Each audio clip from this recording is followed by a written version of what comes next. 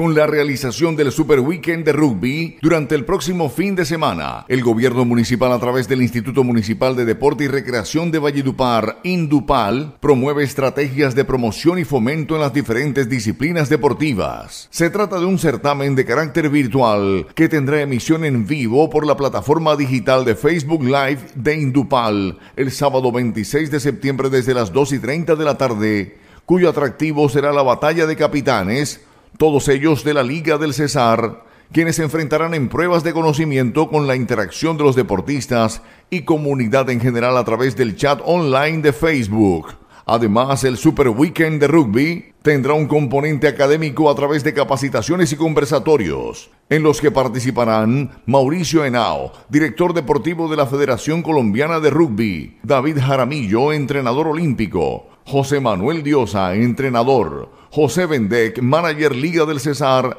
y Andrés Gómez, presidente de la Federación Colombiana de Rugby, entre otros. Las diferentes disciplinas que nos han solicitado apoyo y después de analizar eh, cada uno de las solicitudes, los proyectos, los convenios, vamos realizándole eh, de manera responsable el respectivo apoyo eh, para que ellos puedan realizar estos eventos eh, con la mayor tranquilidad y lo cual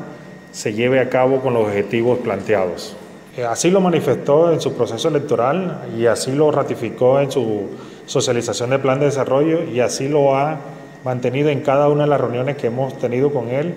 que el deporte cuente, que el deporte sienta el apoyo de la administración municipal a través de Indupal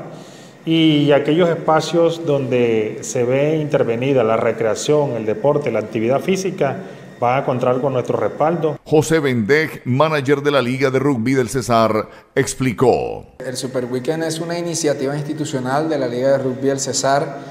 que conjuntamente con Indupal hemos querido llevar a la comunidad. La idea es decirle a la gente que existimos como disciplina deportiva, que nos seguimos fortaleciendo aún en medio de esta contingencia